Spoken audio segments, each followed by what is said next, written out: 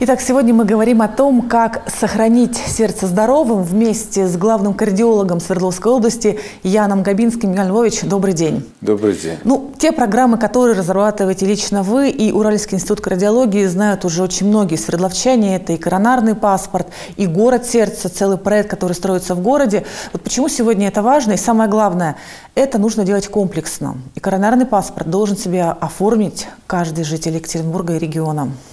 Ну, я уже как-то вам говорил, что мы надеемся все-таки на поддержку губернатора в этом вопросе, потому что все равно нужен, так сказать, не только идеолог да медицинский, но идеолог политический, идеолог, который регионом руководит. И когда в 2016 году губернатор сказал, что каждый житель Свердловской области должен получить коронарный паспорт, у нас на сердце радость, потому что вот я думаю, что мы будем вот эту помощь и дальше ощущать. И самое главное, чтобы продолжалось финансирование по коронарному паспорту. Уже по программе здоровья уральцев мы посмотрели и обследовали 3300 человек. Это большая цифра. Можно говорить о ней уже э, как о, так сказать, пилотном проекте, который прошел. И мы понимаем, что вот все то, что мы сделали, 3300 человек, и то, что мы с помощью коронарного паспорта обнаружили, те изменения, которых не видят на диспансеризации обычной. Люди совершенно приходили здоровые, там, но они были в возрасте от 30 до 60 лет. Но это были люди, работающие в опасных профессиях. Там, летчики, авиадиспетчеры, машинисты, там, работники ГАИ, скорой помощи и так далее.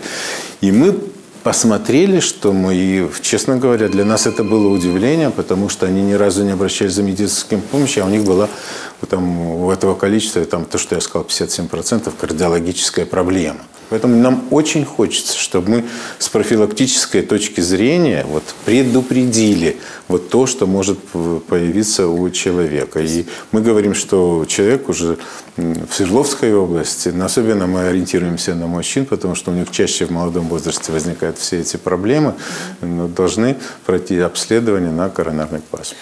При устройстве на работу мы требуем не традиционный паспорт России, а еще и коронарный паспорт. Это должно стать мы обязательным будем, атрибутом. Вы знаете, вы знаете, спасибо вам за вопрос отличный. И мы будем требовать, может быть, придет это время, не то что требовать, а просто разъяснять, что человеку для того, чтобы даже работодателю будет очень важно, особенно если он набирает это в транспортной компании, там, ну, допустим, автобусная или там, троллейбусная или трамвайная, и чтобы человек, который ведет трамвай или который ведет автобус или там транспорт или все что другое, чтобы он был уверен за его состояние здоровья. Не просто вот по той диспансеризации, которая у нас сегодня есть, а вот более четко углубленные по той технологии, о которой мы говорим, связанной с коронарным паспортом. Коронарный паспорт, как долго его нужно оформлять? Э, какие основные там условия? И нужно ли его постоянно носить с собой, чтобы, если что, врач сразу понял твое состояние? Ну, коронарный паспорт, я сейчас вот его не показываю, мы уже раньше с вами говорили, это просто такая же, такой же вид, как банковская карточка. Постоянно носить то, что вы носите там в своих документах, у вас всегда присутствует, он может быть в карманчике просто находиться, и всегда по коронарному светофору, мы так его называем, потому что на лицевой стороне коронарного паспорта есть цвета. Но вот в связи с нашими обследованиями, которые мы проводим и относим этого человека к тому или иному коронарному коду, коронарному статусу, у него появляется свой цвет. Вот это все укладывается в те технологии прорывные, о которых сегодня говорит президент. И нам не очень хочется, чтобы на э, региональном уровне и вот нас слышали, нас услышали, чтобы мы могли вот проводить вот эти все, чтобы не, эта технология не попала там куда-то в другой да, регион, и они начали это делать более быстро. А мы хотим, чтобы здесь приходили и депутаты, и, э, и общественная палата, и, и все мы понимаем, что это надо делать, и выискивать возможности какие-то финансовые, потому что нам очень хочется, чтобы эта технология для людей была бесплатна. Если мы говорим о программах э, вот такого уровня, конечно, нужна поддержка эм, руководителей, которые бы могли бы решать эти вопросы для того, чтобы продвигать эту технологию и дать ей возможность развиваться.